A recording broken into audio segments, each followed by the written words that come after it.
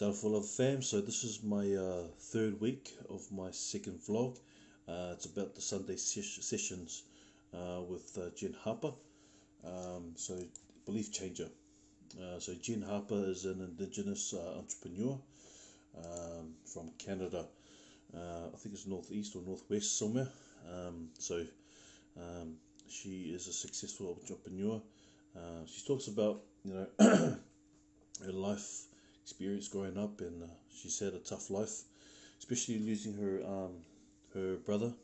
Uh, that was a tough one, um, as she lost a loved one that was close to her, and and you know going through all that kind of stuff, and then you know launching her business uh, Cheekbone in 2016, and and into where she is now. Um, you know, having these investors um, investing in her business, and and um, also she talks about tools that she uses, like you know the Facebook ads, um, you know the email, automated email, emails she uses that as well. Uh, so stuff that I'm learning through Ka Hao uh, I Te Ao, um, e-commerce is you know is pretty much what she's she's she's using and you know the customer avatar you know narrowing down to your your specific person you know instead of uh, as a whole and uh, what um you know inspiration for someone that's gone through all this kind of stuff and learning all these e-commerce stuff by herself.